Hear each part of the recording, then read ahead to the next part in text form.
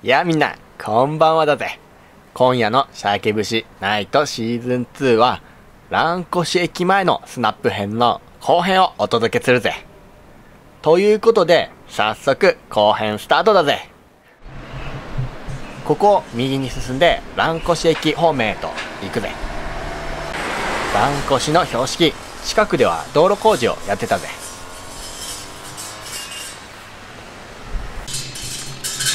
ここのマンホールは NTT 仕様になってるみたいだね。また他のところと違うみたいだね。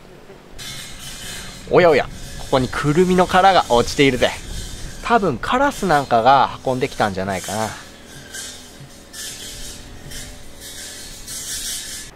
交番、そしてパトカーだぜ。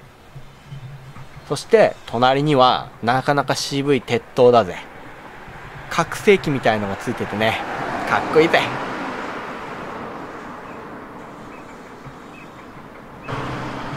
おこのマンホールはランコシっていう文字が入っているバージョンだな。絵柄のないランコシの文字だけのバージョンってことだな。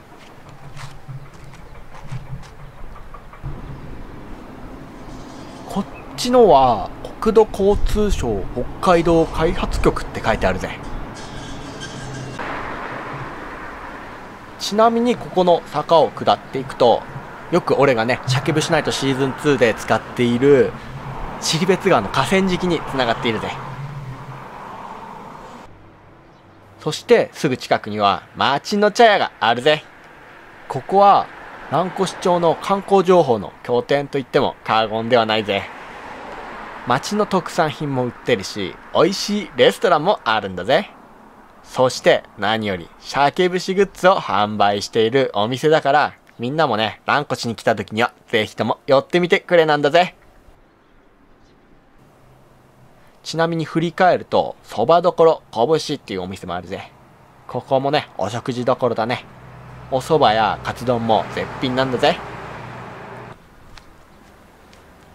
そしてすぐお隣に蘭越の消防署だぜ。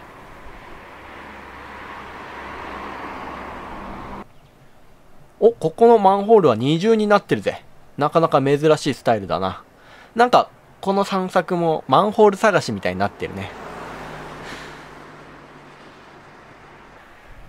ここはセイコーマートだぜ。北海道発祥のコンビニだな。そして道路の向かい側にはローソンもあるぜ。蘭越町には全国チェーンのコンビニが3店舗、全部でね、3店舗あるんだけども、そのうちの2店舗がこの場所に集結してるぜ。ちなみに3店舗目は、この先を1キロぐらい進んだところにあるセイコーマートだな。そしてここはニセコバスの停留場。蘭越役場前って書いてるな。だけど、ここはどう見てもローソン前だぜ。役場までは徒歩で5分、徒歩5分ぐらいかかるんだよな。そんなに近くないはずなんだけどね。ここは蘭越町で最も賑わう交差点の一つだな。これから進む先が蘭越のね、町のお祭りなんかでよく使われる通りだね。さて、このまま進んでいくと、前回最初に通った駅前の信号のところに繋がっているぜ。A コープ蘭越店。蘭越町で最も大きなスーパーマーケットの一つだな。で、向かい側には肉の梅沢さん。ここはね、蘭越町外、町の、ま、蘭越町民じゃなくてもファンが多いお肉屋さんだぜ。ここにもね、オリジナルのキャラクターがいるみたいだね。そして、お菓子の堀川さん。ここは、マウスマンがね、北海道に来てくれた時にも一緒に行ったお店だぜ。あの時はプリンを食べたぜ。ここはね、メーカーの雪まんっていうのがね、すごく評判もいいんだぜ。他にもケーキとか美味しいのいっぱいあるからね、みんなにもおすすめだぜ。前回通った駅前の交差点だね。さて、駅前に戻ってきたぜ。蘭越駅もね、風情があってね、すごくいいよね。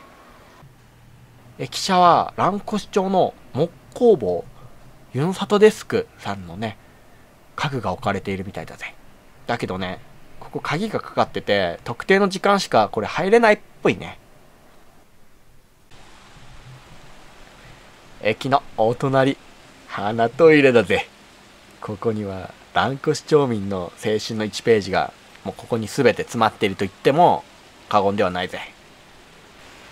お隣には噴水。そして奥には図書館があるぜ。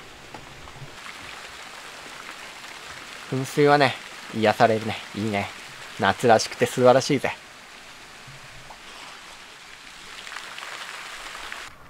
さて図書館の裏にやってきたぜ。ちょうどね今ラベンダーが満開みたいなんだぜ。すごく綺麗だぜ。近づいてみるといい香りもするぜ。